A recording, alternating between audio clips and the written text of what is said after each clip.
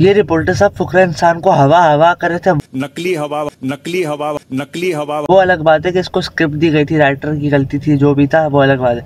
फुकरा इंसान को कहते हैं कि फुकरे तो वो होते जो कुछ कर नहीं पाते। तो आप नाम पे क्यों जा रहे हो रिपोर्टर साहब? क्या आपने कभी गुलाब जामुन में गुलाब देखा है.